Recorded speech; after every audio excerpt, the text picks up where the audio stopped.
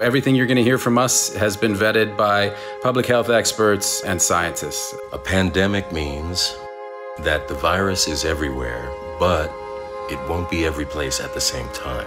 We all want a cure, but the health of our society is in your hands. It needs us to survive. Let's not give it any help. Here is what you can do now.